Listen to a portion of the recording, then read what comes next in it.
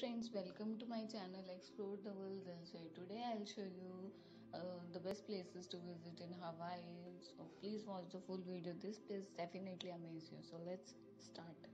The largest country in South America, Brazil occupies almost half the continent.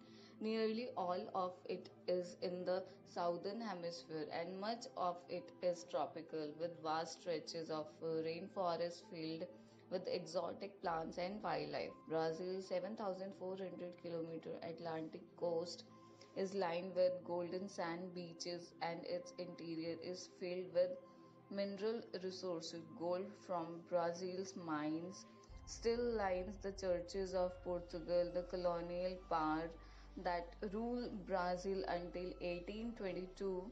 This strong Portuguese influence is evident in Brazil colonial architecture in decorative arts such as the glazed tiles in its churches and convents and in the language. For tourists, Brazil is both a tropical paradise and an exciting cultural destination with attraction for all tastes uh, from idyllic beach holidays and jungle exploration to world class art museum and the pulsing rhythm of Rio's carnival.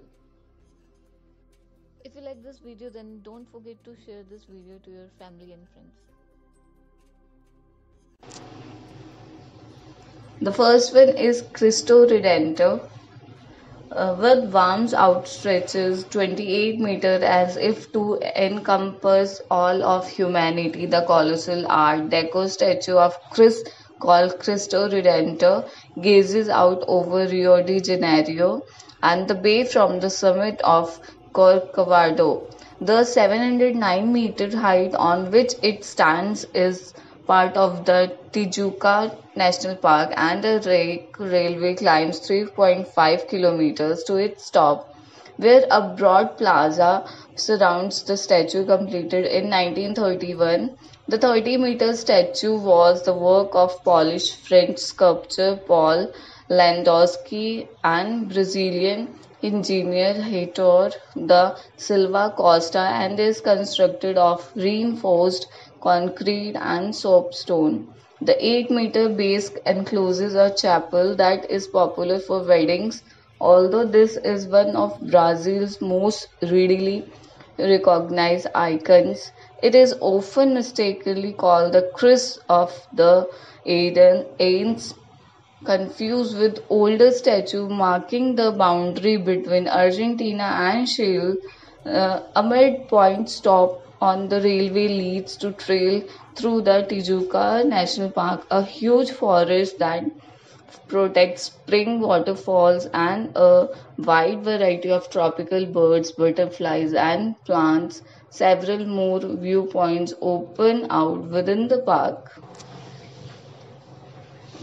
The second one is the sugar loaf. The easily recognized emblem of Rio de Janeiro, the rounded rock peak of Sugarloaf juts out of a tree-covered prom promontory rising 394 meters above the beaches and city. Its uh, summit is one of the first places to visit for tourists for views of Rio and the harbor and for the thrill of riding suspended in a cable car between Sugarloaf and the Morro Morro da Urca, a lower peak from which a second cableway connects to the city. Rio's first settlement began below these peaks near the long Praia da Urca beach and you can tour one of the three early forts there, the star-shaped Fort São João. If you already visited in Brazil, then please comment down your favorite place. The third one is Ipanema. Beyond the beaches of Copacabana, the glorious white sands merge into the just as famous beaches of Ipanema. The same wave design of Copacabana wide promenade continues here, separating the sand from the line of hotels, restaurants, cafes, art galleries, and cinema that make this is a popular social zone year round. Further uh, along beyond the Jardim de Alah Canal, which drains Lagoa Rodrigo de Freitas Lagoon, are the beaches of Leblon with more locals and fewer tourists. These beaches are favorite for families. Sunday is especially busy with an antiques market at Praca de Quintaland and the Feira de Artesanato de Ipanema, alive with music, art, handcrafts, and street food. The waves at Ipanema and Leblon can be very strong and unpredictable, so be careful where you swim. Follow the locals and stay out of the water where you don't see others swimming. If surf is what you are looking for, head to the stretch between Copacabana and Ipanema where the surfers hang out. The last one is Pernambuco Beach. The crystal waters, tall palm trees, and broad stretches of silver sand are only a few of the reasons why Porto de Galinhas is frequently cited as Brazil's best beach. For a country with more than 7,000 kilometers of Atlantic coast, much of it sandy beaches that that's saying a lot.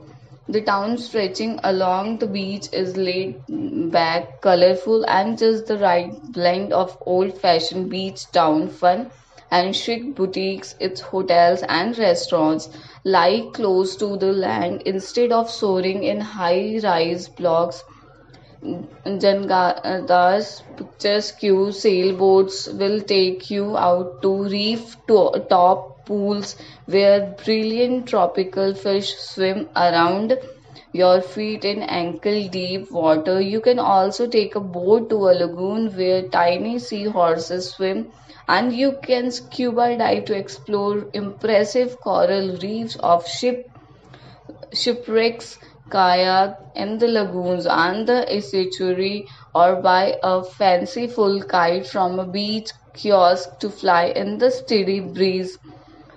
Nearby Maracaípe is popular with surfers. Porto Galinhas is just one of the beautiful beaches of Pernambuco's 187 kilometer coast closer to Recife 17th century Olinda is a UNESCO World Heritage Site overlooking a popular beach. The main beach is in Recife itself, a Praia da Boa and the Carne de Vaca. Thank you so much for watching my video. If you like the video then please do subscribe, like, comment, share to my channel and don't forget to press the bell icon so that you can get the notification for new videos.